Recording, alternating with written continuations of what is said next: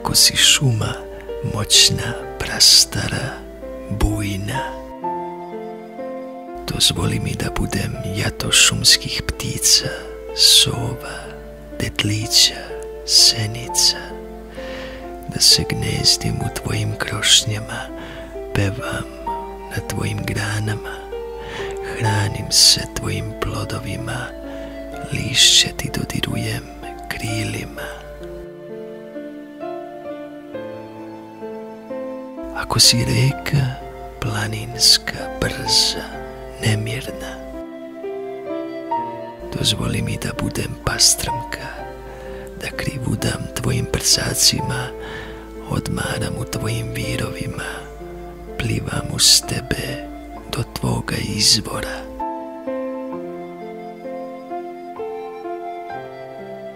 Dozvoli da budem kamenje sa tvoga dna, oblikuj me, umivaj me, kotrljaj me, ni svoje vodopade do samoga ušća.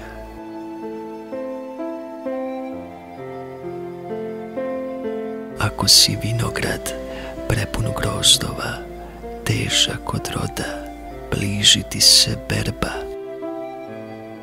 Dozvoli mi da budem sunce, veselo, sjajno, užareno, da hranim tvoje listove, grejem ti pupoljke, oplemenim tvoje plodove.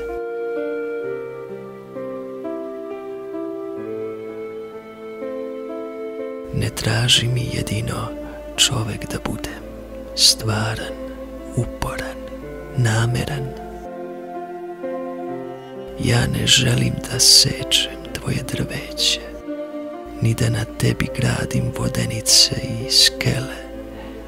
Neću ni da berem tvoje zrele plodove, da ih cedim i od njih opojno vino stvorim.